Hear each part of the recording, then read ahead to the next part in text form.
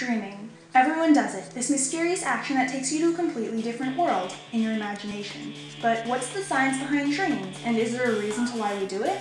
Let's take a look into some oneirology, the scientific study of dreams. Although it may seem like our brains are taking a break and resting while we're asleep, it's quite the opposite. Our brains are very active while we sleep, especially in that period of REM sleep when we're dreaming.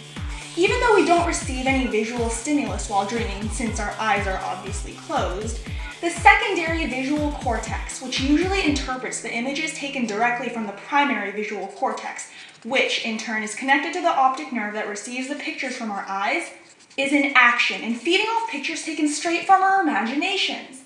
The limbic system in the brain is also working full time, which is why many of our dreams are really sad, scary, happy, or emotionally charged in another way, as the limbic system is the emotion center in our body. Plus, the dorsolateral prefrontal cortex, or the part of our brain that usually controls logic and lets us think rationally, is barely working at all. This allows our dreams to defy the laws of physics and be as improbable and crazy as whatever we can come up with. Thanks for watching! Feel free to leave questions for new videos in the comment section.